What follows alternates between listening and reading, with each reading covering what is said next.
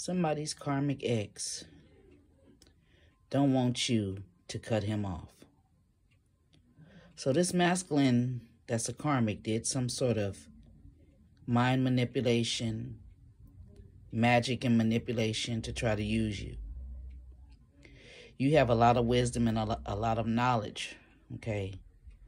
Um, you could be very smart, intelligent, or this person could be spying on you. But overall, this is a karmic ex, a masculine energy. Now, this could be a family member. This could be your ex-male, ex-husband, ex-boyfriend, um, baby daddy. This could be a family member of yours. Um, this person is going through a storm.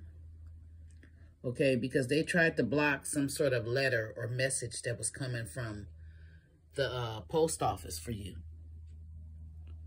Okay. This person is a, a, a thief. There's a rat, rather. And they don't want you to cut them off. Whatever it is, you know, they, they trying to steal from you or trying to block some sort of mail coming to you. They don't want you to cut them off. And this mail could have something to do with this house.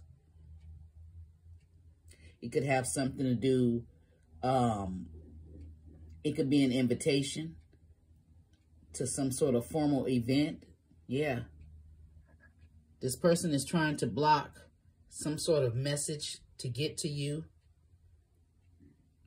from you being invited to some party, uh, celebration, um, something. They're, they're, they're trying to do some sort of manipulation when it comes to a house or you be invited. This could be a house celebration. This event could be at a house or something. But whoever this energy is, they're going through a storm right now. There could have been an argument between you and this person for trying to block your mail some sort of way. Okay? For you to be able to go to this event.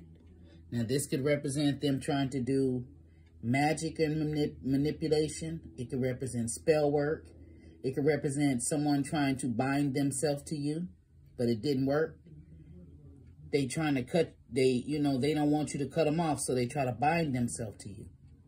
For some of you, this could mean somebody was trying to bind themselves to a home, and it didn't work. So it's different energies out here. Take it where it resonates, but overall, it's a masculine energy. Okay? He tried to stop some mail for somebody. It could have something to do with a house. It could have something to do with uh, engagement, uh, a wedding celebration, a ceremony, some sort of event. But he's going through a storm for this. Okay.